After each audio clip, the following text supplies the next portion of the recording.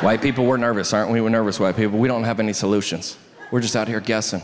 We're like, we canceled Aunt Jemima. Black people are like, that's my aunt. Now she's unemployed. Shoot.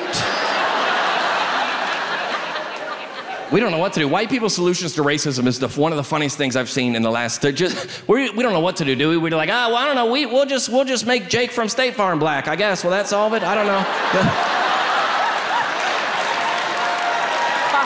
oh, we're not going to talk about that. They just switched it in the middle of the night. No announcement or press conference or nothing. We just all watching the game like, I think he used to be white. And nobody said a word. Just like, all right, I go, you know what I'm saying? And they didn't switch his name or nothing. They didn't switch his name, just Jake. Jake?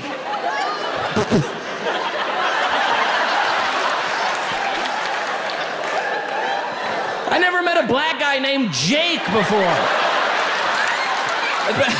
It couldn't be Jarvis from State Farm? What? Hold on, what?